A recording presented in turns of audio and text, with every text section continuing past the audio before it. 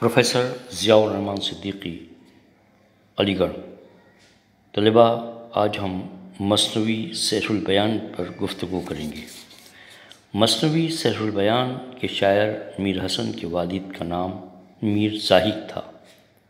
उनका वतन दिल्ली था, जहाँ वो मिर्ज़ा सौदा से हज बाजी में शोहरत पा चुके थे। जाहिद के बेटे मीर ग़ुलाम हसन हसन भी अपने वालिद के हमरा फैज़ाबाद आए।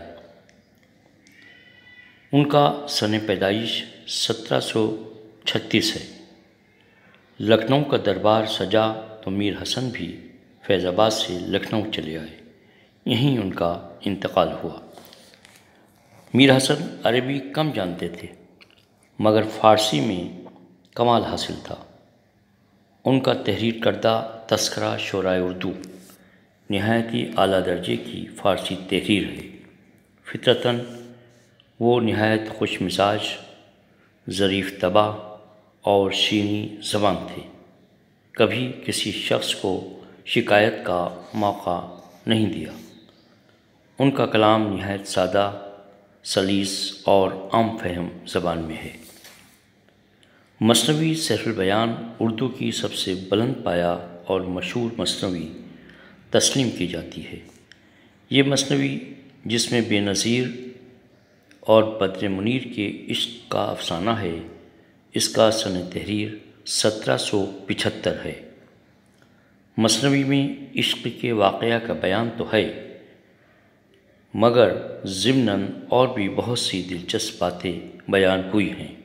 मसलन, कदीम ज़माने का लिबास, जेवर, शादी ब्याह की रस्में बारात की धूमधाम, बूदोबाश गरज ये कि मीर हसन ने मसनवी में दिल्ली के रहन सहन का पूरा नक्शा खींचा है। ज़बान सादा और साफ़ है। सैकड़ों शेर तो ज़रबुलमसल बनकर ज़बान जद हो गए हैं। बयान की सफ़ाई, सादगी और सलासत तारीफ़ के काबिल है।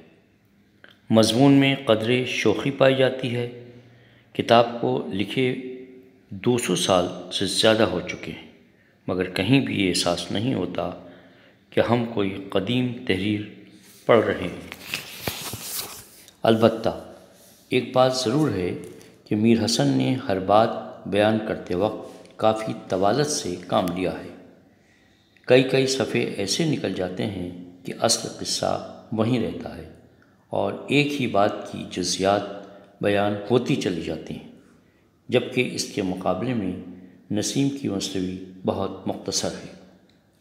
मुख्तसर तौर पर यह कहा जा सकता है कि मीर हसन की मसलवी सहल बयान सचमुच अदब में एक जादू का सा असर रखती है और बिलाशुबा उर्दू की बेहतरीन मसलवी कही जा सकती है।